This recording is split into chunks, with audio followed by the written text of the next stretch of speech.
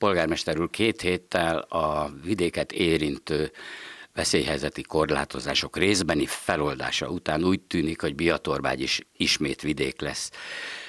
Milyen feloldások vagy esetleg könnyebbségek várhatók itt a településünkön?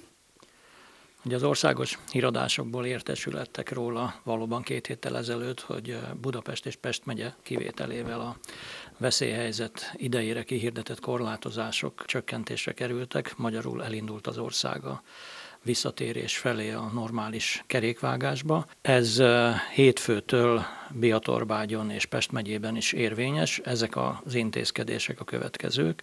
A játszóterek és a sportparkok továbbiakban látogathatók illetve a vendéglátóhelyek is és a szálláshelyek is meg fognak nyitni a gyógyszertárak, drogériák és élelmiszerüzletek továbbra is 9-től 12 óráig látogathatók a 65 év felettiek részére, ezen kívüli időszakban pedig rajtuk kívül mindenki látogathatja őket. Az egyéb üzletekben pedig a veszélyhelyzet előtti nyitvatartásnak megfelelően lehet vásárolni, Biatorbágyra is igaz, tehát minden üzlet a megszokott nyitvatartás szerint fog működni. Tudhatunk-e valamit esetleg a, az egyházi szertartásokról? Igen, azt a lehetőséget biztosították az egyházi vezetők, hogy hétfőtől kezdve Isten tiszteletet, illetve misét lehet tartani. A vasárnapi szertartásokról egyelőre még eh, nem hoztak döntést. Mit mond a biatorbágyiaknak? Maradjunk még mindig otthon?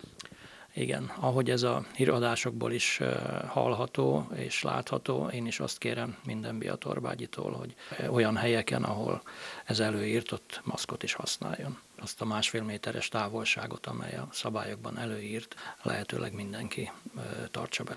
A lazításokat követően továbbra is igaz az, hogy vigyázzunk egymásra. Reményeink szerint így a védekezés az továbbra is olyan módon tud folyni, ahogy, ahogy eddig folyt, és minél kevesebb beteg legyen Biatorbágyon és az országban is.